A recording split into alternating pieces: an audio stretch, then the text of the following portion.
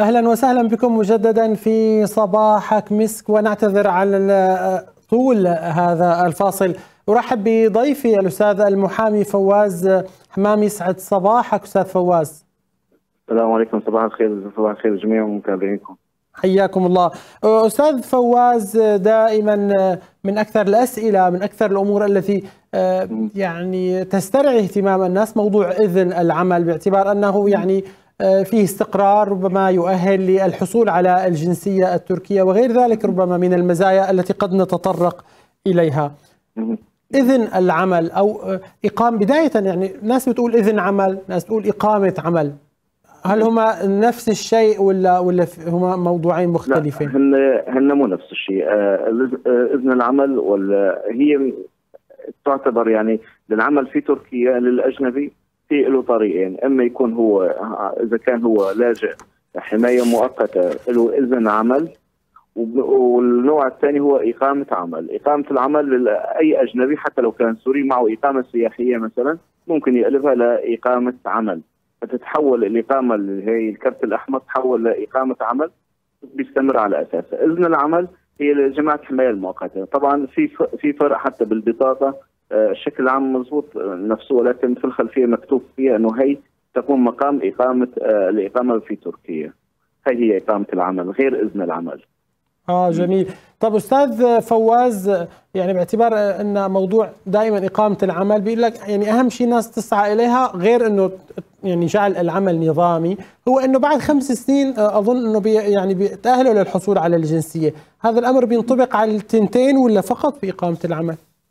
لا هلا بالنسبة للحماية جماعة الحماية المؤقتة اللي هي إذن العمل آه هي ما في لها مدة محددة للحصول على الجنسية، هي السبب للحصول على الجنسية أحيانا بعد شهرين ثلاثة من إذن العمل عم بيبعثوا عليهم ولكن صار الفترة الأخيرة بياخذوا بعد سنة أو سنتين من إذن عمل شافوا إنه مستمر على اساسه بيبعثوا لأن هي جنسية استثنائية. أما لباقي الأجانب حتى لو كان سوري ولكن هو إقامة عمل خمس سنوات. إذا استمر في الخمس سنوات هي الخمس سنوات من بعدها بيحسن يقدم على جنسية له ولعائلته. جميل. فهي مشروطة لإقامة العمل. جميل. إذا خمس سنوات شرط لإقامة العمل أما إذن العمل قد يحصل على ذلك قبل ذلك بكثير. نعم. قبل ذلك بكثير ممكن.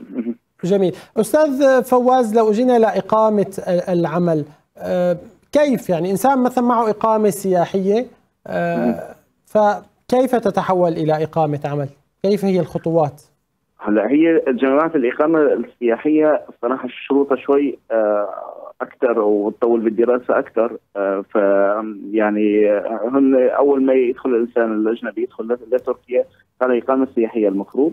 بعد ما يطلع اقامه سياحيه إذا كان هو يعمل بشركة ممكن إذا كان هو بيعمل بشركة عن طريق الشركة اللي بيشتغل فيها بتقدموا له بأوراقه. إذا كان هو صاحب شركة لازم يكون في يعني خاصة الفترة الأخيرة في كثير شروط يعني الشركة ما لازم تكون شركة غير فعالة لازم تكون شركة عالة لازم يكون لها عم تدفع الضرائب والى إلى مبيعات وإلى إخراجات على هذا الأساس بينعطى ولكن إذا كان هذا الأمر غير موجود يعني حتى كان ممكن العامل ممكن نفسه إذا كان بيشتغل بهي الشركة ممكن العامل نفسه ما بيعطوه إقامة عمل.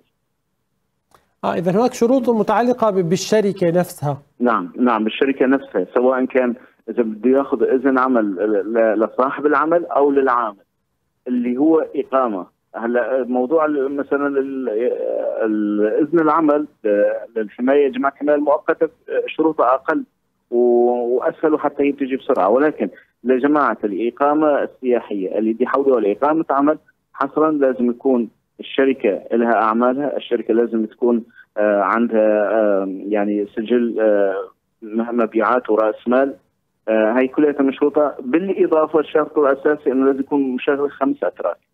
خمس أتراك السادس هو الأجنبي جميل بدي يكون مشغل خمس أتراك مقابل أجنبي والشركة نعم. فعالة وغير ذلك يعني هون نعم. هنا الشركة أستاذ فواز بتعطي بتسجل هذا الشخص على أنه موظف نظامي عندها وبتدفع عليه تأمينات.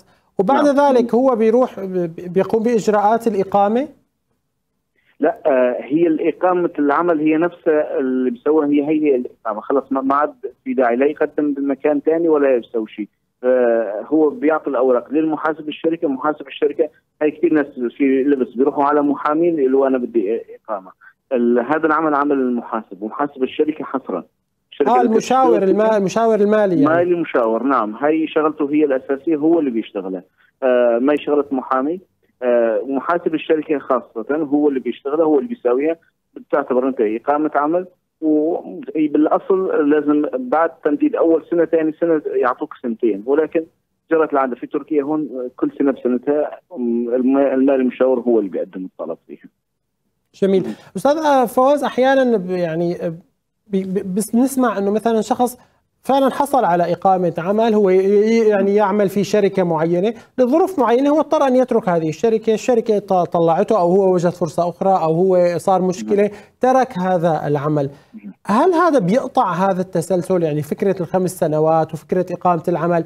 هل إقامة العمل تصبح لاغية لو ترك الشغل ريثما يبحث عن عمل آخر ولا ولا في آلية معينة للحفاظ عليها؟ هلا هلا هو آه، بيقطع هي هي السنوات آه، اذا ترك العمل. ولكن لازم يكون خلال فترة شهر آه، ينتقل لشركة ثانية. لشركة ثانية وياخذ إذن عمل. الانقطاع هذا بيأثر نعم بيأثر عليه. ولذلك نحن بننصح دائما لما تعرف حالك إنه أنت رح تترك بهي الشركة ارجع جدد اقامه سياحيه مشان ما يصير عندك انقطاع بالاقامه العمل؟ دائما لما بيعرف الشخص إنه راح يترك هي الشركة قبل الفترة بيقدم على الاقامه السياحية آه، بيستخرجها وبيرجع بيرجع آه، بعد ما ينتقل للشركة الثانية بيرجع يقدم طلب. وإلا بتعتبر الاقامه العمل ملغية. آه يعني طب أستاذ فواز هنا لو فعلا اذا هو آه، أراد أن يترك هذا العمل أو عارفه أنه في ظرف ترك للعمل اذا يذهب ليقدم على إقامة سياحية حتى لا يبقى نعم. بدون إقامة. نعم. ذهب قدم إقامة سياحية وفعلا ترك الشغل فألغيت إذن العمل. بعد فترة بعد أشهر وجد فرصة في مكان آخر وحصل على إقامة عمل. هذه الفترات تحسب مع بعضها ولا هو آه، مع الأسف نص القانون نص القانون أنه عم بيقول خمس سنوات دون انقطاع. نص القانون. خمس سنوات دون انقطاع. يعني ما ما مر علينا أنه في حدا صار عنده انقطاع هذا الأمر ولكن نص القانون هو اللي ينطبق إلا إذا كان في استثناء ولكن نص القانون بيقول أنه خمس سنوات دون انقطاع. حتى لو كان آه، انقطاع بسيط إنه هو انتقل من شركة يعني إلى شركة؟ نعم مع الأسف آه، دون انقطاع. لأن بس نحن ليش عم نقول لازم يسوي إقامة سياحية؟ مشان ما يعني يعتبر داخل تركيا هو آه، غير, غير مقيم بإقامة نظامية. هذا اللي بنقول عنه حتى يحافظ على بقائه. على بقائه. أما إقامة العمل إذا اردت أن أحافظ عليها يجب نعم. أن بمعنى أنه أتفاهم مع الشركة السابقة واللاحقة بحيث أنه انتقل دون أن أحدث انقطاع ربما. يعني هاي هي فلذلك الأفضل أنه يستمر بنفس العمل. ما يتركه ابدا حتى يحافظ على خمس سنوات بدون انقطاع. جميل. هي نقطة مهمة لأنه فعلا أحيانا الواحد يعني مشكلة إذا كان قضى سنوات وبعد ذلك تذهب يعني بدون فائدة. ممكن ممكن يجي على آخر سنة بيصير عنده انقطاع مشكلة.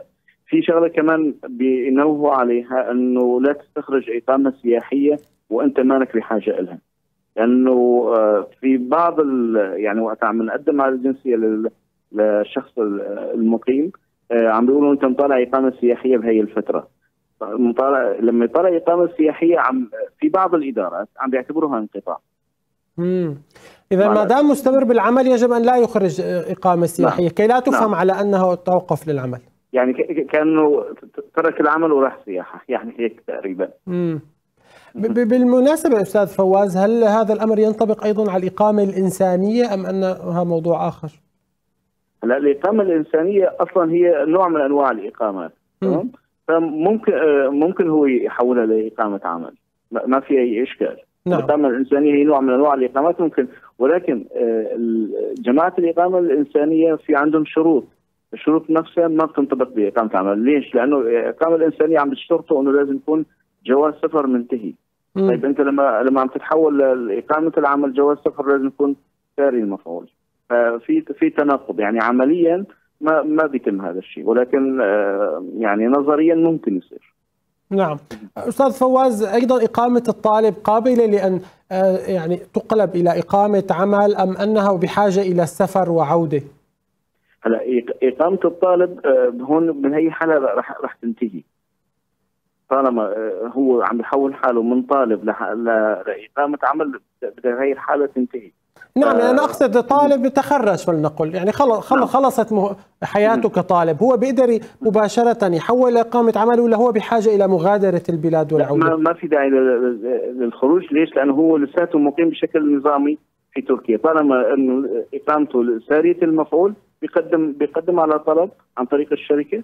نعم بياخذ. لأنه دخوله لتركيا دخول نظامي. جميل. على ذكر أنه سارية المفعول أستاذ فواز خطر بالي الآن سؤال آه، موضوع المدة. يعني أنا آه، لدي إقامة سياحية مثلا تنتهي في تاريخ معين. متى ما زال أمامه فرصة الإنسان أنه يحولها إلى إقامة عمل؟ قد إيه بده يكون باقي فيها؟ ولا ما مهم تكون؟ لازم يكون لازم يكون فيها 60 يوم. 60 يوم. فيها 60 يوم. نعم. بس في أحيانا في يقدم ولكن إقامة العمل كثير عم تطول. هلأ إقامة عفوا إذن العمل عم بيطول أحيانا 15 يوم لشهر بالكثير أما الإقامة السياحيه عم بتطول أكثر من عفوا إقامة العمل عم بتطول أكثر من شهرين دراسة. نعم. لازم يكون عندك الإقامة السياحيه فيها 60 يوم. حتى يكون في في فرصة. نعم. أعود قليلا إلى إذن العمل لموضوع اصحاب يعني الحماية المؤقتة أو الكملك إذن العمل. يعني أنت ذكرت إنه شروطه أسهل. ما هي هذه الشروط؟ وهون في نقطة لأنه بدي أوصل لنقطة موضوع المدينة اللي مسجل فيها واذن العمل كيف بيفيده إنه يعني ينقل قيده من مدينة إلى أخرى. هلأ نحن آه، بالأصل كان إنه اللي عنده إذن عمل هو خاص فقط للي موجود بولايته ولكن استثنوها بفترة من الفترات إنه بيحسن بولاية ثانية ياخذ إذن عمل. لكن بهذا الفترة الأخيرة حاليا يمكنك تقدم طلب ولكن ما في موافقة. يعني 100% عم بيجي رفض. يعني ما ما حدا مثلا حاليا كثير ناس عم بيسووا مشان آه، كملك إسطنبول نقله ولا غير ولاية حتى. كل الولايات عم بيجي رفض حاليا. آه طبعا أسهل كان من ناحية إنه مثلا كانوا مشترطين كل 10 أتراك ولكن هذا الشيء ما عمليا ما عم يطبق. يعني حاليا في شركات فيها بس اثنين سوريين مثلا. مع ذلك عم بيجي موافقة. الموافقه عم تجي خلال بين 15 ل 20 يوم.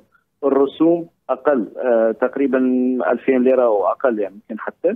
آه فهن بكل النواحي أسهل ولكن حاليا موضوع نقل الكملك على إذن العمل هذا الأمر غير موجود.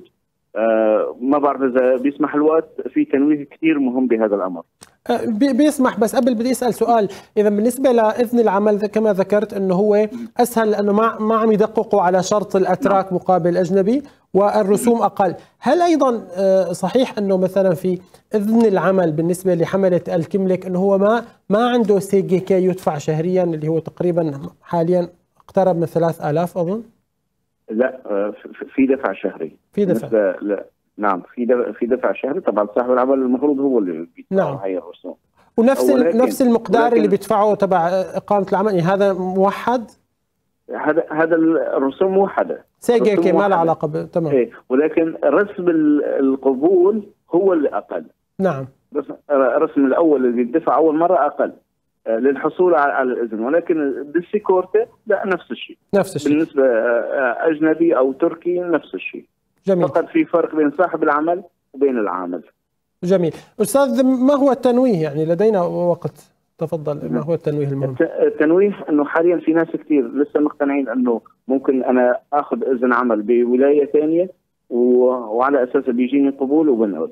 آه هذا الأمر انتشر في مكاتب السماسرة كثير مكاتب السماسرة آه لما الفترة الأخيرة ما عم بينقبل شو عم بيقولوا الناس. بيقولوا الناس إنه باخذ لك أول شيء سيكورته بعد شهرين أو ثلاثة بسوي لك إذن العمل. يكون صار وقت اللي تنقل فيه الكلك هذا الشيء غير صحيح تماما.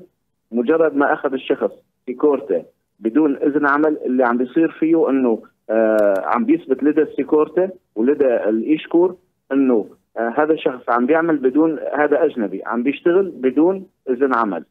آه، فبيتثبت عليه 100% قانونا في صار إيصال ثابت إنه هو طالع سيكورته قبل إذن عمل، أي أجنبي لحتى يحسن يشتغل في في تركيا لازم يكون أول شيء عنده إذن عمل ثم سيكورته، ولكن مكاتب السماسرة بس مشان يحصلوا على مبلغ مالي وبعدين إيش بيصير ما, ما بيهمهم بيروحوا يعملوا له سيكورته ويورجوه إنه هو مسجل بالسيكورته في مسافة إسطنبول. بيدفع هذا الشخص مصاري وبيستنى على أساس بعد شهرين ثلاثة ليجي إذن عمل. هي الحالة مع الأسف أه تحولت من السيكورتا أوراق هذا الشخص اللي يشكر بحطوا عليه جزء الجزء عم بيكون ثقيل ومن بعدها أه يتحول لجوتش اداره جوتش اداره عم تبطل الكله على هذا الأساس. فكثير ننتبه على هذا الأمر. sigorta بدون إذن عمل لا يجوز الاجنبي يعني ممكن توصل لإلغاء الكملك كله؟ نعم نعم. وهي حصلت مع ناس كثير وبعدين بالنهاية يعني ترحيل بفهم من هالكلام. يعني بس أبطل الكملك صار شخص معرض للترحيل. إما للتوقيف وبعد فترة بجوز رحلوه ممكن يكون برحلوه مباشرة حتى. اذا نقطة هي كثير جوهرية فعلا أستاذ فواز نعم. أن الإذن العمل سابق لل SGK. نعم.